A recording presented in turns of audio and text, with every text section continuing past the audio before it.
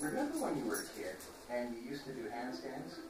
Do you remember how fun it was to see everything in a totally different way? Priority Health always looks at healthcare that way. It's how it's the only plan like it in the state of Michigan.